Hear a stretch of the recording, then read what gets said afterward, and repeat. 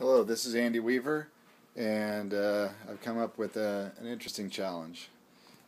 This is uh, my stairways, and there's two stairs. Stairs going down, stairs going to the next level.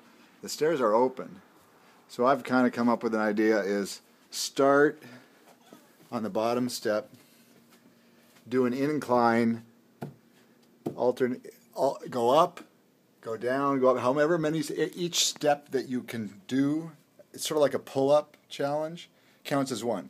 You got to be careful because if your arms get tired and you fall, you're going to land on another set of stairs and you are going to slide down and it is not going to feel good. So you got to know when to say when. Each each time you get on another step, it counts as one. I'm hoping to go. It's I think nine steps up and nine steps down. I'm hoping to do one up and down and let's see what we can do.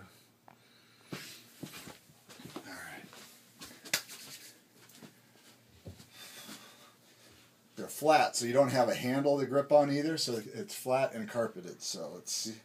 I just got to keep the feet off the floor the whole time. Of course, my cat wants to be in the picture.